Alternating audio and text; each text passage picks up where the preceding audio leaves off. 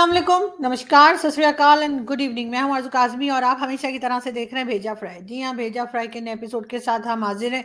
और आज हमने सोचा कि जी न्यूज़ तो होती रहती है और न्यूज़ तो हम ऑलमोस्ट हर दिन ही करते हैं।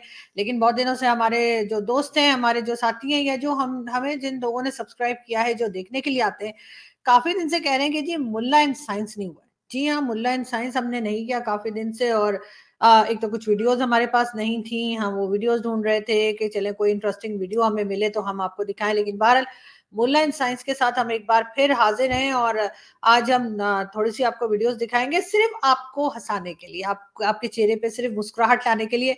बाकी तो मुझे पता है कि ये मुल्ला साहब जो बात कर रहे हैं उसमें कोई सर पैर नहीं है, कोई सेंस नहीं है, लेकिन हमने कहा चले एक मुल्ला इन साइंस भी एक शो कर लेते हैं आज, ताकि आप लोग जो बहुत शिकायत कर रहे हैं कि जी बहुत टाइम हो गया मुल्ला इन साइंस नहीं आया, उनकी शिकायत भी दूर हो जाए। तो जी आजकल चल रहा है रमज़ान। आप सब जानते ही हैं कि इसमें तमाम मुस्लिम जो हैं, वो रोज़े रखते हैं, रात को सेरी करते हैं, शाम में मगरिब के बाद अफ्तारी की जाती है।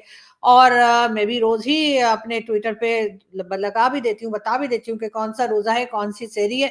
तो बिल्कुल लेकिन ये मुल्ला साहब क्या कह रहे हैं? इनका कहना ये है कि रोज़े में सांस लेना मना है या ज़्यादा सांस लेना मना है? कह इनको सुन लेते हैं। सांस ज़्यादा ना ले। जब तो, सजा कर रहा हूँ। हाँ और थोड़ा सिमट के बैठे। ठीक है। ज़्यादा फैल के ना बैठे के बाद वक्त पानी जो है वो इसके मैदे तक पहुँच सकता है जिससे रोजा टूट जाएगा। ठीक है तो उसमें ये कुछ एहतियात ज़रूरी है। सांस जी सांस ज़्यादा ना लें यानी सांस ही ना लें जो लोग रोजा रख रहे हैं मौलाना साहब ये कह रहे हैं कि वो सांस ना लें। लेकिन हाँ कुछ लोग जो साइंस के बारे में बात कर रहे हैं, उनकी भी बात सुन ही लेते हैं कि आखिर वो क्या बता रहे हैं। अगर किसी को नींद ना आती हो तो वो क्या करे? बहुत से लोग बहुत तरह की चीज़ें करते हैं। कुछ लोग मेरी तरह ऐसे होते हैं जो टीवी देख लेते हैं अगर नींद नहीं आ रही। कोई बुक पढ़ लेते हैं और या सोशल मीडिया चला लेते हैं। और कई लोग ऐसे होते हैं जो स्लीपिंग पिल्स भी लेते हैं, जिन्हें डॉक्टर ने मेडिसिन दी होती हैं, या कोई बीमार होता है, उनको भी नींद नहीं आ रही होती। लेकिन ये मौलाना साहब तो कोई और ही तरीका बता रहे हैं कि अगर आपको नींद ना आए तो आप लोग क्या करें? कि ये जब सोता है तो एक आँख बंद करता है, दूसरी आँख बंद नहीं करता। तो इसलिए अगर किसी को नींद ना आती हो, इसको जबा करके इसकी वो आँख जो बंद होती है ना, ये पहन ले। किसी कपड़े वगैरह में लपेट के पहन लेगा ना तो अब इसको नींद आ जाएगी। अब सोया पड़ा रहे। और नींद उड़ा नहीं हो तो ये आँख पहन ले। अब ये करवटे लेता रहे, इसको नींद नहीं आएगी। ये मैंने पढ़ा है। हयातुल हयावान में इसकी काफ़ी तफसीलात मिल सकती हैं। जी तो ये मौलाना साहब भी कुछ अजीब ही बात कर रहे थे और इनका कहना ये था कि जी, अगर आपको नींद ना आती हो तो भी आप उल्लू को काट के, उसकी आउल को काट के, यानी उसकी एक आँख जो बंद करके सोता है, उसको गले में पहन ले, हाथ में बाँध ले तो नींद आ जाएगी। और अगर आपको नींद बहुत आती हो तो एक आँख जो खुली रखता है, उसको जिबा करके तो यानी हर हाल में उस बेचारे मासूम से परिंदे की जान जानी है। ये मौलाना साहब का कहना है कि जी, उसको जो है, उसकी दूसरी आँख जो खुली रहती है, वो पहन ले तो जो लोग बहुत सोते हैं उनका फिर नींद नहीं आएगी।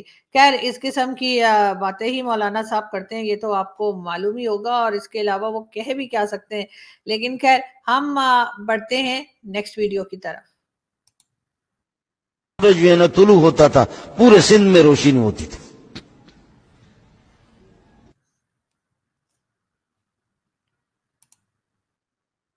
अगर अमेरिका गया है, चाँद पर तो गया है तो गया है, चाँद तो बिल्कुल नीचे जैसे ये पंखा। छत से नीचे है, चाँद नीचे है, लेकिन जिस दिन अमेरिका पहले आसमान को चीर करके दूसरे पे पहुँचा, दूसरे को चीर करके तीसरे पे पहुँचा, तीसरे को चीर करके चौथे पे और सातवें आसमानों को चीर करके सातवें पे पहुँचे, सातवीं के ऊपर अर्श है, अर्श पे पहुँचे और वहाँ से फिर ये कि जन्नत में अमेरिका पहुँचे तो फिर उस दिन उस इस मुल्ला को बता देना।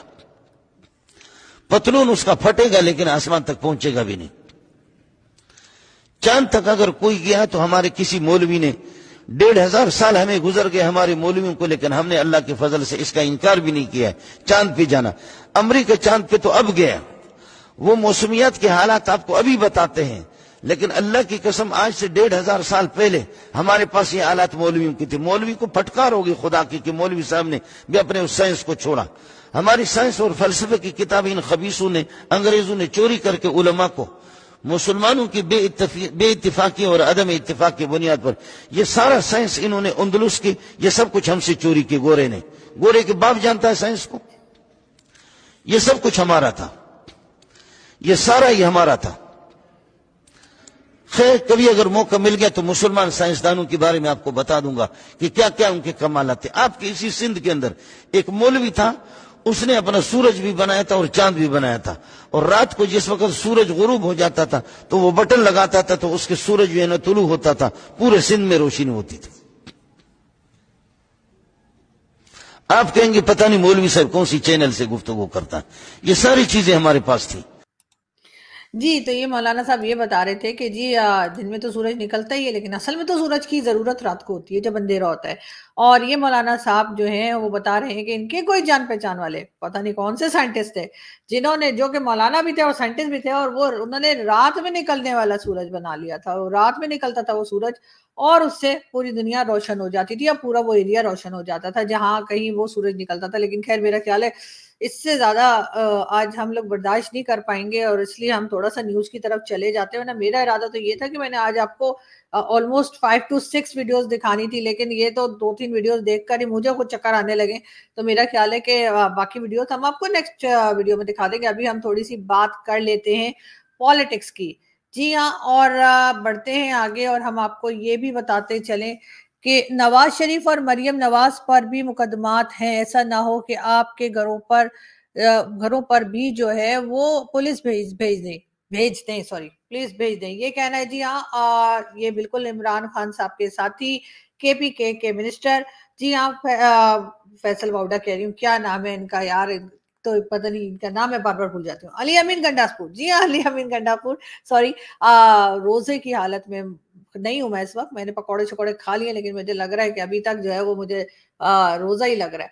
तो मैं आपको ये बता रही थी जी आलिया अमीन गंडासपुर का कहना ये है कि शहबाज शरीफ और मरियम नवाज़ के घर पे भी पुलिस जा सकती है लेकिन खैर फ़िलहाल तो उनको अपनी जान बचाने की पड़ी हुई है और अली अमीन गंडासपुर जो है अपने लिए काफ़ी परेशान नज़र आ रहे हैं। तो देखते हैं कि इनके अपने ऊपर से कब तक ये मुसीबत जो है वो टलती है। बात करेंगे आईएमएफ की। जी हाँ पाकिस्तान को पैसे मिल चुके हैं, कुछ पैसे मिल चुके हैं। आईएमएफ से 9.53 बिलियन जो है लोन के पाकिस्तान को रिसीव हो गए हैं। लेकिन कहा यह जा रहा है? जो रिपोर्ट्स आ रही हैं, उसके हिसाब से आईएमएफ के पैसे मिलने के बावजूद आईएमएफ का लोन मिलने के बावजूद जो है वो पाकिस्तान के ऊपर कोई बाकी कंट्रीज़ ट्रस्ट नहीं कर रही। ख्याल था कि आर्मी चीफ सऊदी अरब गए हैं तो यकीनन सऊदी अरब से बात करके कुछ ना कुछ उनको राज़ी करके आए होंगे कि वो पाकिस्तान में या तो इन्वेस्टमेंट कर दें या लोन दे दें। लेकिन इनमें से दोनों में से फ़िलहाल ऐसा कुछ होता हुआ दिखाई नहीं जा रहा और दिखाई नहीं दे, दे रहा हमको लेकिन ये ज़रूर है कि ये कहा जा रहा है कि आईएमएफ से बहुत लोगों को उम्मीद थी यानी पाकिस्तान में जो पॉलिसी मेकर्स हैं पाकिस्तान के पॉलिटिशियंस और जो कोई पाकिस्तान को चलाते हैं यानी इस कंट्री को उनको काफ़ी उम्मीद थी कि जब आईएमएफ का लोन मिलेगा तो बाकी कंट्रीज़ को भी हौसला होगा, चाहे वो सऊदी अरब हो, चाहे वो यूएई हो, या कोई भी दूसरी यूरोपियन कंट्रीज़ हो वहाँ से भी पाकिस्तान को कुछ पैसा मिलने की उम्मीद थी, लेकिन ऐसा होता हुआ हमें दिखाई नहीं दे रहा। और रिपोर्ट्स जो आ रही है, उसके हिसाब से पाकिस्तान को जितनी उम्मीद थी उसमें से, यानी जो लोन मिलने की उम्मीद थी, उसमें से 53 परसेंट ही मिल सका है और बाकी पैसे जो हैं वो देता हुआ कोई दिखाई नहीं दे रहा। ज़ाहिर है कि जिस तरह की रेपुटेशन पाकिस्तान ने बना दी है, अपनी बार बार आप लोन लेने के लिए डिफरेंट कंट्रीज़ में जाते हैं बार बार आईएमएफ के पास जाते हैं, हालाँकि आईएमएफ अपना पीछा छुड़ाने की, अपना पीछा कटाने की पूरी कोशिश करता है, लेकिन फिर भी पाकिस्तान पीछे हटने को तैयार नहीं होता।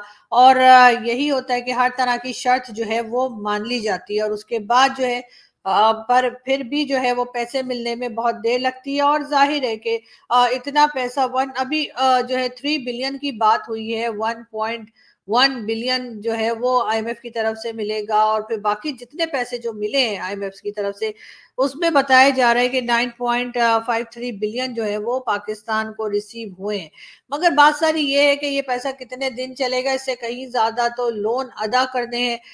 कोई कहता है, जी एट बिलियन मांगा जा रहा है। कभी कहते हैं थ्री बिलियन मांग रहे हैं। कभी कहते हैं सिक्स मिलना है। कह एट का रहे हैं, लेकिन बहरहाल कुछ ना कुछ फिगर्स जो है वो ऊपर नीचे होती रहती हैं और उसके बाद किसी की समझ में कुछ नहीं आ रहा कि ये लोन तो मिल रहा है, लेकिन उसके बाद कंडीशंस जो पाकिस्तान एक्सेप्ट करता जा रहा है आईएमएफ की, जो कि एक्सेप्ट किए बगैर इनके पास कोई और रास्ता नहीं है, उसके लिए पाकिस्तान आखिर क्या करेगा और किस तरह से इस मुश्किल में से पब्लिक निकल पाएगी? आईएमएफ की तरफ़ से जी ये भी कहा जा रहा है कि एक डिमांड और आई है, जिसमें ये कहा गया है कि 18 परसेंट जीएसटी लगाया जाए पेट्रोल के ऊपर। जी हाँ पेट्रोल जो कि बहुत ज़रूरी होता है, हर चीज़ के लिए ही, चाहे वो गाड़ी हो या किसी भी तरह का जो बिजली का सामान है। और आप समझते हैं कि जिस जिस तरह से पेट्रोल का या फ्यूल का इस्तेमाल होता है, हर कंट्री में, पाकिस्तान में भी है बहुत ज़्यादा। और अगर पाकिस्तान में फ्यूल ना हुआ तो जैसे कि पीआईए की फ्लाइट्स तो वैसे ही ग्राउंड हो जाती हैं, लेकिन उसके अलावा भी दो हज़ार समाज चीज़ें ऐसी हैं जो कि आप समझ सकते हैं कि जो जिसके लिए फ्यूल की ज़रूरत होती है। और बताया ये गया है कि जी पेट्रोल के ऊपर जो है 18 परसेंट जीएसटी लगाने की डिमांड की है आईएमएफ ने। लेकिन क्या पाकिस्तान ये डिमांड मानेगा? क्या पाकिस्तान ये डिमांड पूरी कर सकेगा? पाकिस्तान के पास ये सारी डिमांड्स मानने के अलावा कोई दूसरा रास्ता हमें तो दिखाई नहीं दे रहा। मगर ये ज़रूर है कि पाकिस्तान इसमें ये कर सकता है कि कम से कम जो अपने खर्चे करते हैं ये गवर्नमेंट वाले और गवर्नमेंट ऑफिशियल्स हों, चाहे आर्मी ऑफिशियल्स हों, ये अपने खर्चे अगर कम कर दें तो शायद कोई मामला बन सके और किसी तरीके से गाड़ी आगे की तरफ़ बढ़ सके।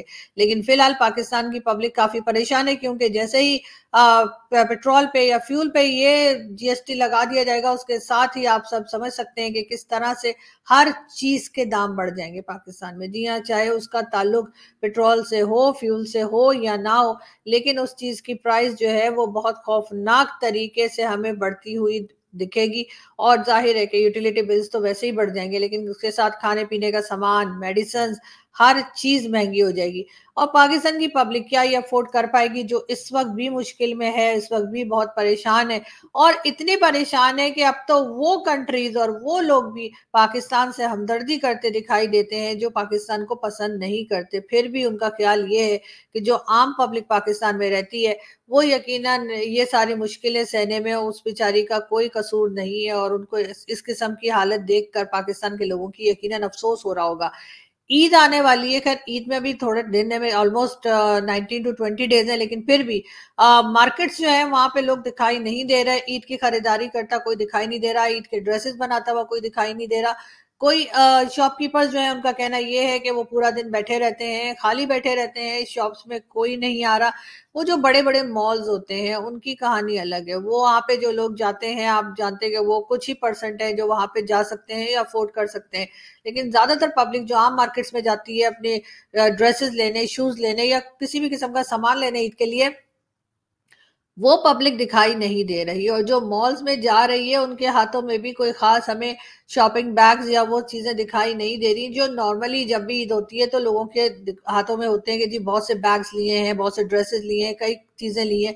ये सब देखकर यकीनन अफसोस होता है। लोगों की हालत देखकर अफसोस होता है। लोगों के पास खाने को नहीं है, लोगों के पास हाउस रेंट देने के पैसे नहीं है, लोगों के पास मेडिकल के पैसे नहीं है। बहुत से लोग ऐसे हैं जो बहुत मजबूर है, लेकिन ज़ाहिर है कि ना तो वो किसी से मांग सकते हैं, ना वो किसी से कह सकते हैं कि जी वो परेशानी की हालत में लेकिन क्योंकि ज़ाहिर है हमारे यहाँ इस तरह के लोगों की बहुत तादाद है जो बहुत रिस्पेक्टफुली रहते हैं और वो पसंद नहीं करते कि वो किसी से कहें कि जी हम मुश्किल में है, हमारी मदद की जाए। लेकिन ये सारा का सारा जो बखेड़ा किया है। वो ज़ाहिर है कि पाकिस्तान की गवर्नमेंट ने और पाकिस्तान के उन लोगों ने किया है जो पाकिस्तान चलाने का दावा करते हैं या पाकिस्तान जिनके हाथों में है। जो जा जाकर डिफरेंट कंट्रीज़ से लोन मांगते हैं, लेकिन वो लोन अगर मिल जाए, उसके बाद उस लोन से वो अपने ही अपने ही खर्चे पूरे कर लेते हैं, अपनी ही फैमिलीज़ को जो कि बाहर रहती हैं ज़्यादातर। इस वक्त भी जो कैबिनेट बनने जा रही है या बन चुकी है, जिसमें शहबाज शरीफ साहब ने कई मिनिस्टर्स अपने जो है वो अपॉइंट कर दिए उनमें से ज़्यादातर लोग जो हैं, वो ऐसे हैं जिनकी फैमिलीज़ बाहर रहती हैं, जिनकी फैमिलीज़ यानी पाकिस्तान में नहीं रहती, किसी भी दूसरी कंट्री में रहती हैं, पाकिस्तान में ना रहकर। इस तरह के लोगों को ज़ाहिर है कि क्या फ़र्क पड़ता है? सारा खानदान, पूरा, पूरी फैमिली, बीवी, बच्चे माँ बाप बहन भाई सब तो कोई यूरोप में रहता है, कोई दुबई में रहता है तो कोई अमेरिका में रहता है। तो यहाँ पर जब कोई रहता ही नहीं तो सिर्फ़ ये खुद ही आते हैं और यहाँ पे एक लग्जरी जो है उसका फ़ायदा उठाते हैं कि चले जी, मिनिस्टर बन गए, गाड़ी के आगे फ्लैग लग गया, प्रोटोकॉल मिल रहा है, नखरे दिखा रहे हैं और नखरे दिखाकर पाकिस्तान को और खाकर और तबाह करके फिर ये निकल जाते हैं। न जाने पाकिस्तान जिन लोगों ने बनाया था, उनके दिमाग में क्या था, क्या सोच के उन्होंने पाकिस्तान बनाया था, क्या उनकी सोच थी कि जी पाकिस्तान बना देंगे। तो यहाँ पे जो मुस्लिम्स आ जाएँगे, उनकी हालत बहुत अच्छी हो जाएगी, जबकि हम ये देख रहे हैं कि उनकी हालत खराब से खराब तर होती चली जा रही है। बहुत सी इस्लामिक कंट्री हैं, दुनिया में सिर्फ़ पाकिस्तान नहीं है, लेकिन सिर्फ़ पाकिस्तान ही है, जहाँ पे लोगों की हालत हद से ज़्यादा खराब है और हर वक्त कोई ना कोई लोन के लिए जो है कंट्री को लोन दिलाने के लिए जो भी गवर्नमेंट आती है, वो घूमती फिरती दिखाई देती है। और आर्मी चीफ भी जिस वक्त सऊदी अरब गए थे लास्ट विज़िट जो लास्ट विज़िट जो उनका सऊदी अरब का था, जिसमें वो एमबीएस से भी उन्होंने मीटिंग की, उसमें भी हमने यही देखा कि यकीनन वो कुछ मांगने तांगने ही गए होंगे, लेकिन लगता ही है कि एमबीएस ने खजूरें खिलाकर टाटा बाय बाय कर दिया। और उसकी रीजन यही लग रही है कि जिस तरह से आईएमएफ के आगे घुटने टेके हुए हैं और हर शर्त मान रहे हैं और हर चीज़ महँगी होने जा रही है, ये देखकर यकीनन अफसोस होता है। आगे जो दो से तीन महीने के बाद जो है मेरा ख्याल है कि अभी इस वक्त जैसे मार्च चल रहा है अप्रैल में जून तक लोगों की हालत और खराब से खराब हो जाएगी। लोड शेडिंग भी होती हुई दिखाई दे रही है। गर्मी भी बेताशा होगी और लोगों के लंबे लंबे बिजली के बिल आएँगे, लेकिन बिजली घरों में नहीं आएगी। यही हाल रहेगा, लेकिन उसके बाद ना किसी को अफसोस है और ना ही कोई कुछ ठीक करने को तैयार है। कई बार कहा कि जी, पावर सेक्टर में इन्वेस्ट कीजिए, पावर सेक्टर में कुछ पैसा लगाइए, पावर सेक्टर को संभालिए, लेकिन ऐसा करते हुए लोग दिखाई नहीं देते, क्योंकि ज़ाहिर है उनकी अपनी फैमिली को तो गर्मी लग रही नहीं है, उनकी अपनी फैमिली की तो लाइट भी पूरी है, यहाँ रहते भी नहीं है, ज़्यादातर तो बाहर ही रहते हैं किसी यूरोपियन कंट्री में तो उनको तो वहाँ पे ठंडा ठंडा माहौल मिल रहा है, लेकिन यहाँ पे जो लोग मौजूद हैं, वो बेचारे जिसे कहते हैं ना कि ना ज़िंदा लोगों में है और ना मुर्दा लोगों में है, लोगों की हाल बहुत खराब है, लेकिन पब्लिक जो है वो कुछ कर नहीं सकती, बड़ी मजबूर है। बहुत हमारे यहाँ की जो पाकिस्तान में जो आम पब्लिक है, उस बेचारी के हाथ में कुछ भी नहीं है। जो कुछ, जिन लोग जिन लोगों के पास पास पावर है, वो कुछ करने को तैयार नज़र नहीं आते। बहरहाल, यहाँ से हम चलते हैं। आप, आपको अपडेट करते रहेंगे। अपना बहुत सारा ख्याल रखिएगा। हँसते रहिए, मुस्कुराते रहिए और हमारे चैनल को सब्सक्राइब करना ना भूलिएगा। Thank you